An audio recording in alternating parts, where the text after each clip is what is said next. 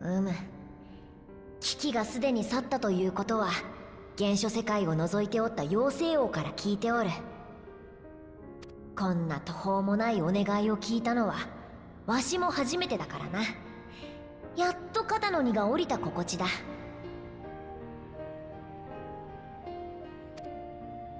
あなたと王の故郷を救うお手伝いができたこととても嬉しく思います。それに今回の任務を通じてノルブラントに暮らす皆とのつながりも再確認できました。ゼロさんたちが目指す再生の見本となれるようこの絆を大事にしながら尽力していこうと思います。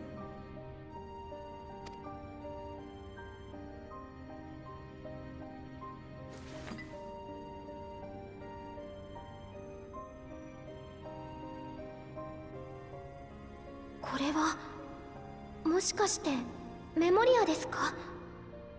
とで。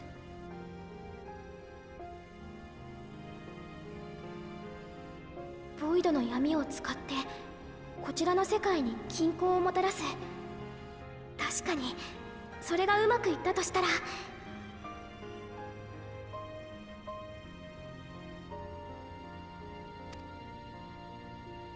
ふむ。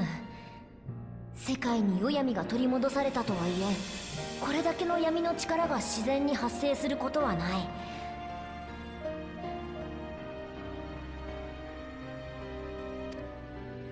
こちらから光を送ったように今後ボイドから闇を受け取ることができれば無の大地の再生も進むかもしれん。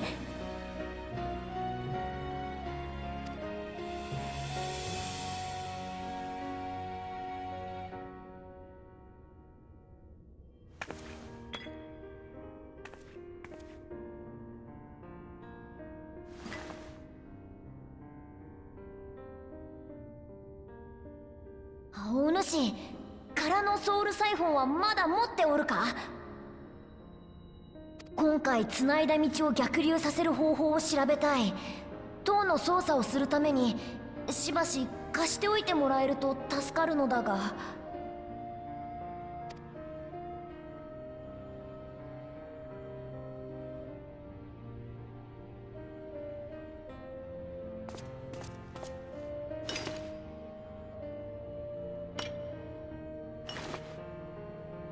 謝する。そう簡単なことではなかろうが少しずつでも研究を進めていくとしよう。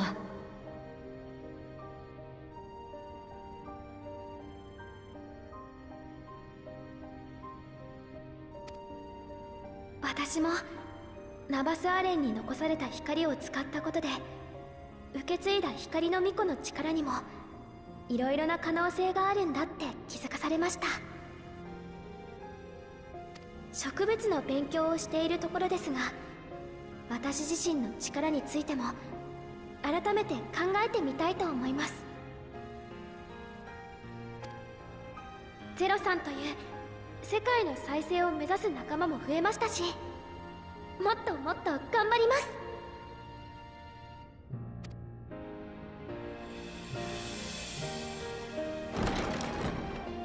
ちょっとリーン。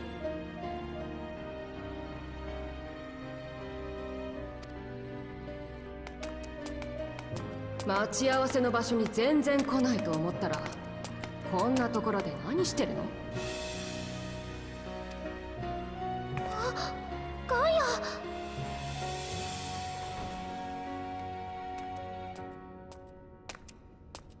ア。あら？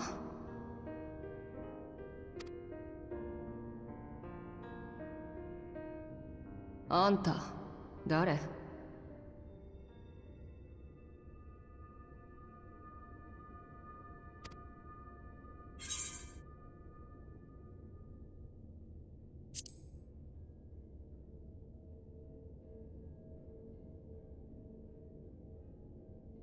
冗談よ。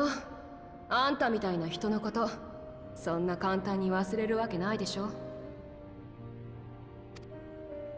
あれから日記もつけてるし毎日思い出が増えていってるところ。今は物語を書いてるんだよね。本になるのが楽しみ。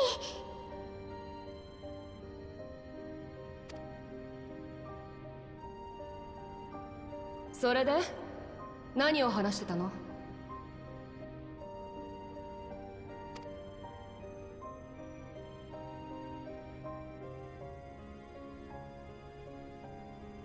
ふん。ボイドと闇の交換ね。わたけど闇の力を扱うのならリーンだけじゃ不安だわ。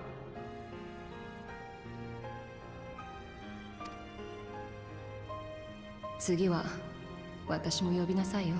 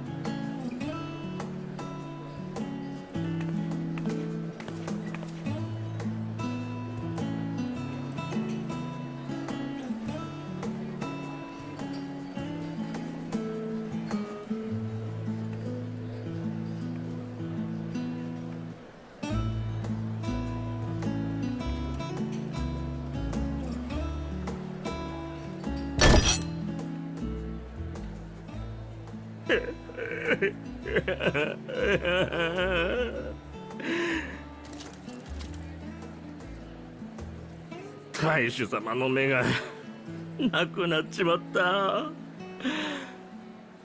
ワルシャン俺の可愛い弟はもう。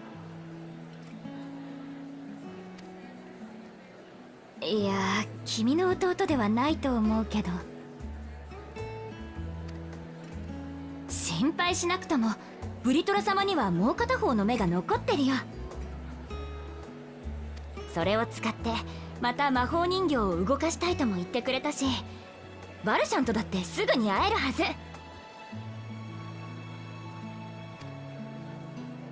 本当か？ちゃんとちっちゃい方か？え？ー、私は大きな方もかっこよかったと思うけどな。人形としての性能もあっちの方が高いわけだし。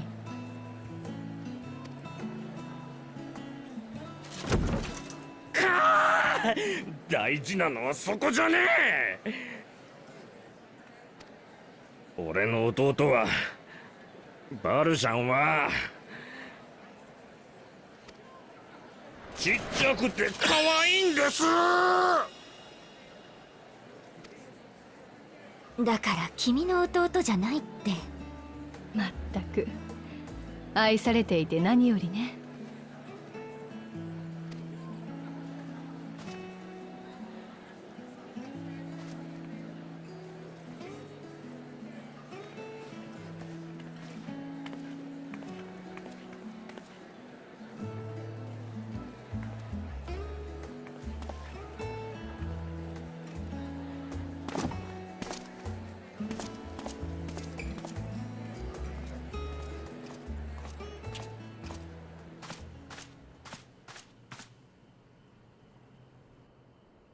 たまには面倒なこと抜きに楽しむのも悪くないな。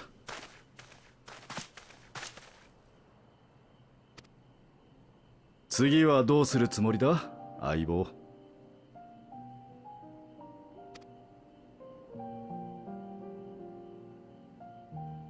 決まってないなら無理に考える必要はない。思えば今回の旅のきっかけも俺が宝の地図を手に入れた現場に偶然居合わせただけのはず。新たなる冒険の始まりなんていつもそんなものだ。時が来れば心が自然と答えを見つけ出す。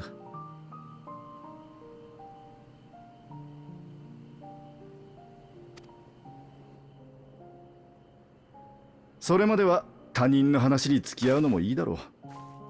ちょうど他のやつも来たことだしな。あら私の予定が知りたいの？あいにくしばらくは部屋にこもりっきりでしょうね。挨拶も済んだことだしシャーレアンに戻って次元跳躍理論についてまとめるつもりよ。それが禁書扱いされるかどうかは上の判断に委ねるしかないけれど。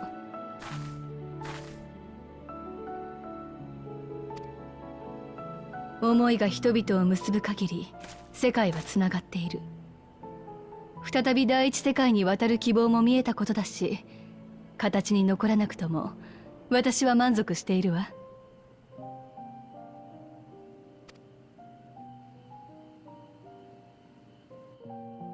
ところであなたはどうするつもりなの？エスティニア。ン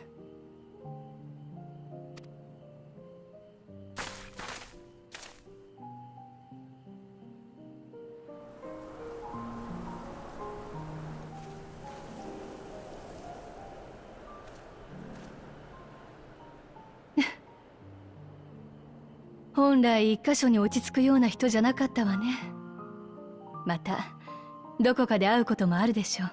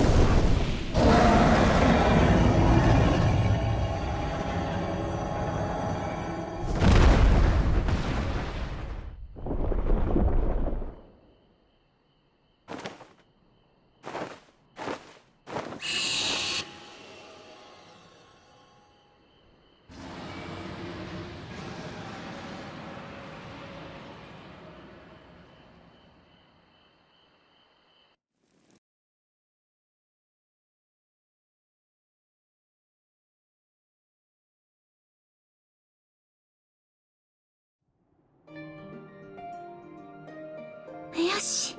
こっちも目録通りね。やっ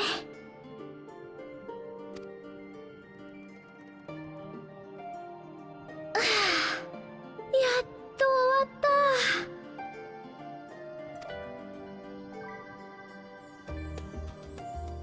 た。思ったより時間がかかっちゃったわ。うちにも管理用の魔法人形がいたら楽なんだけど。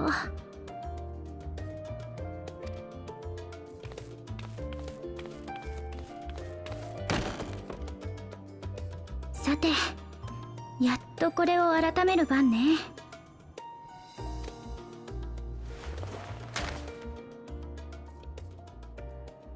ずいぶん古い手紙。内容によってはきちんと保管しておかないと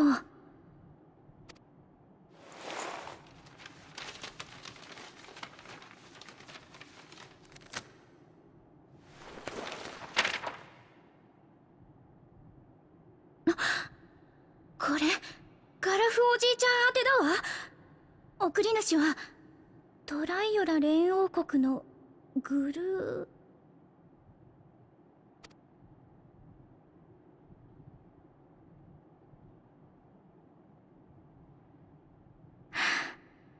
ダメ。かすれててほとんど読めない。うん。他に何かわかることは？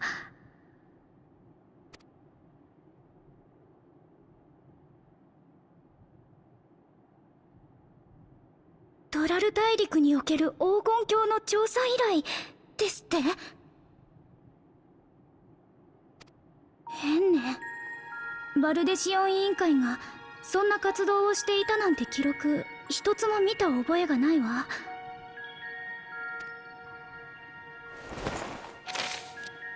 あら中にまだ何か？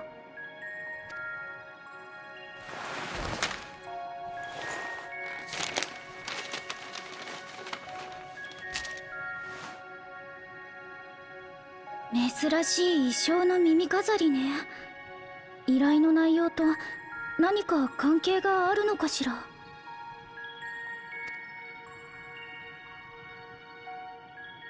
トラル大陸に黄金鏡おじいちゃんはそこへ行ったの？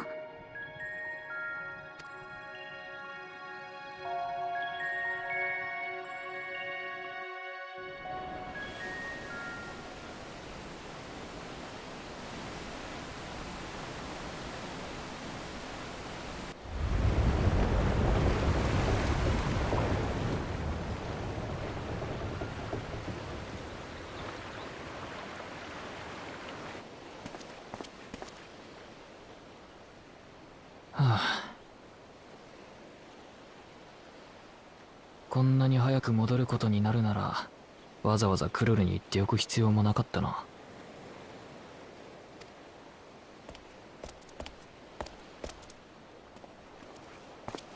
ここが地の都オールド・シャーレアンだ。トライオラとは随分と様子が違うだろ。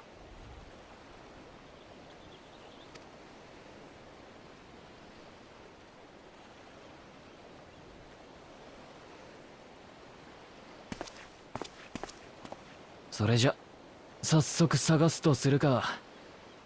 あの冒険者殿をな。